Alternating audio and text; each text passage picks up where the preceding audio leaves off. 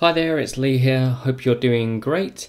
In today's video, I'm going to be showing you how to use the uh, new miner that's been recently released by Claymore. Um, he's created a dual Ethereum and Decred uh, GPU miner. So the advantage of this miner is that you can actually mine two coins at the same time uh, without uh, necessarily using twice as much power. It will use a uh, a little bit more power.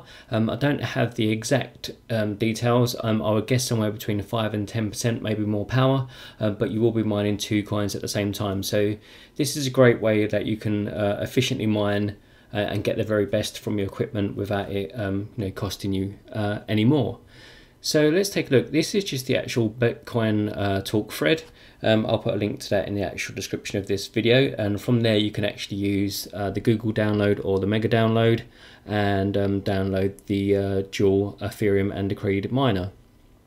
Um, I've already actually done that and um, I'm actually going to be showing you on another machine. So I've automatic, sorry, I've already um, logged in. So this is a RiskyFire 1 or sometimes I call it a Worker 1. Um, this machine is a Windows uh, 10 box and it has a, a single 7950 uh, installed within it.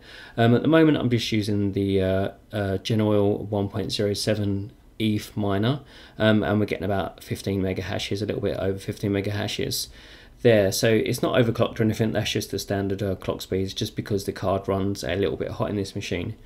So what I'm going to do is um, I'm just going to close that down now and then um, like I say I've already actually downloaded the um, dual miner. So this is what the um, zip file um, extracted looks like on the uh, inside. So we've got a readme file which is always uh, recommended to uh, read that first. Um, I've already had a quick um, skim through it and I think I've got uh, or understand the actual basics of it. So then we've got a start.bat file. What I'm going to do is I'm just going to right click and then I'm going to Actually, I'm going to leave that one as it is. I'm going to uh, Control and C and copy it, and then I'm going to paste a new one, and I'll just use this one um, for uh, editing. I'll just call it new start. Um, save that. Now I'm going to edit this one. So right click and then go to edit. So in here we have, um, so it's the call for the actual uh, program itself. Then we've got this um, Ethereum pool. So we need to change this to our pool details. And then we've got this um, Ethereum uh, address um, or, and password there. So that is the username and password. So I just need to change these to uh, my details. Um, and I'll have them not too far away. Actually, it's in this folder most recently. Uh, let's have a look. Should be this one. So this is our um, address and port. Um, I'm just going to copy those over. Uh, this one. So you don't have to add, um, sorry, add in the HTTP, just the actual uh, URL and port. And then we need my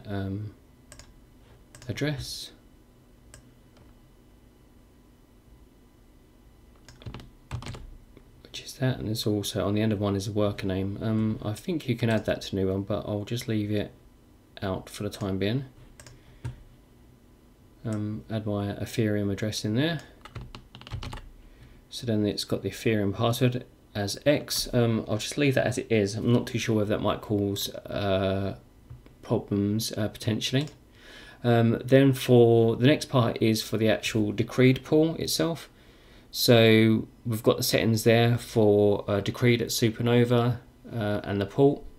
And then we need to change this. I've got my um, username, RiskyFire, and my worker is worker1 and password oh, worker1 and the password is X. So this um, should be okay for us. So I'm just going to save that. I don't know if supernova details are correct. Um, yeah, the dwarf pool one, I'm not too sure whether that X is going to give us any issues. I never um, had to set a password with the uh, dwarf pool before um, because it's just done on your address, not on a, a worker's. So we'll have to see. Um, let's close those uh, batch files. We can close that folder now as well. Um, okay, so let's see if we can run it for uh, the first time. Let's see what happens. Okay, so it hasn't closed immediately. That's a good start. Uh, so it says uh, a few ETH pool one specified, second one is specified. It's detected the uh, card properly. Um, it says about the catalyst drivers. Um, I can't remember what I'm using actually. I think it is. I think it might be 1511 off the top of my head.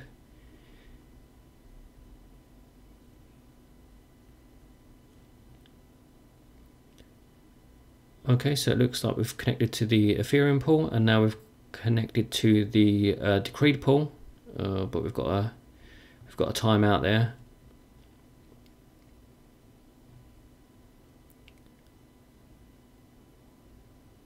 The machine that I'm actually um, remote logged into doesn't have the best internet connection, so um, I don't know whether it's a pool sort of issue or a like a local sort of issue.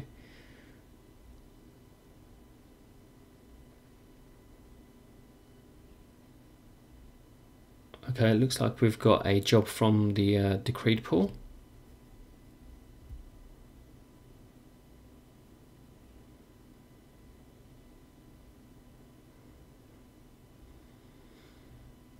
Okay, there's not much uh, happening. So what I'm going to do is, uh, oh, there's uh, the ETH uh, has timed out as well. Um, what I'm going to do uh, is just going to leave it for a few minutes and just um, see what happens. And then I'll come back and we will either um, be running, hopefully, or we might need to uh, tinker with it and, and get it fixed. So I'm just going to leave that running for a few minutes now. Okay, we are back and we are up and running. So um, I left it for a few minutes and that um, Ethereum um, dwarf pool uh, timeout issue did not resolve itself. Um, so what I actually did was um, I edited the batch file. Um, at first I used the uh, the Ethereum pool.co, uh, which is a pool that I've used previously, um, and tried running that, um, but I got the same problem, still like another timeout issue. So um, I'm not too sure exactly what the issue is, but it appears to be the way that this particular mining client connects to those pools. so yeah, it didn't work with uh, Dwarf Pool and it didn't work with uh, the Ethereum pool.co. Um, so there might be something in the configuration where you can change it. Maybe it's something to do with the straight um, connection or something like that, or maybe it's the wrong pool or something. Um, I'll have to look into that uh, in more detail at another time. So what I actually did was um, I used the actual pool, which is this one here, um, us.1 at and this port number, um, all the threes. Um, and then just combine that with this, uh, sorry, this address was actually in the original uh, batch file. So um, I just gave that a quick test and that seemed to work fine.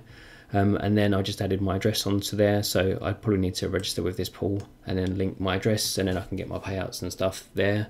Um, I don't think that actually happens automatically. Um, and the um, the Decred pool I just left as it was. So save that fired that up. So that was the, the batch file that I'm currently using. And then this is the actual client you can see now. Um, so it's mining or dual mining on both uh, uh, sort of algorithms. So you can see the Ethereum here, um, uh, 15 and a half, uh, 16, 16. So it's actually a little bit faster than the standard miner. Um, and that was actually reported in the um, on, on some of the blogs that I was reading as well. And the Decred um, is mining there at 243 mega hash. Um, this is actually the first time I've actually mined um, Decred, so uh, I don't know how that compares really. Um, I don't really have anything more to say. presumably, that's a reasonable sort of score. I mean, the actual graphics card is a 7950, so I would presume that's kind of a reasonable um, kind of hash rate. Um, so yeah, that that's basically um, it from here. Um, what I'll probably do is I'll probably keep mining um, overnight and just see whether the client is um, stable, see how it goes. Um, I will personally also need to double check on this um, pool and register with them or do whatever I need to do and to make sure I get my payouts accordingly. but yeah, it looks good. The initial impressions are good. Uh, what I will also do is if let me just open up the uh, MSI Afterburner. like I said, this uh, this rig does run pretty hot. It is a closed up sort of machine. Uh, I was just looking at the actual um, GPU usage. It's obviously fully um, utilized. Uh, the fan's at 100%, which is kind of how it normally is, and the uh, temperature here is 82, 83, which is about where it is previously. Um, like I said, this card is not overclocked just because of the heat and cooling issues. So I've just left it on standard clocks, which is 800, but you can run it up to, I've run it well over a thousand with no problems before, um, but you've just got to have that adequate cooling, which I don't actually have at the moment.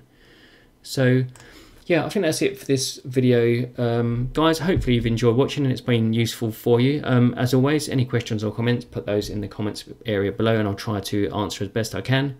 And um, yeah, till next video, thanks for watching. Take care. Bye-bye.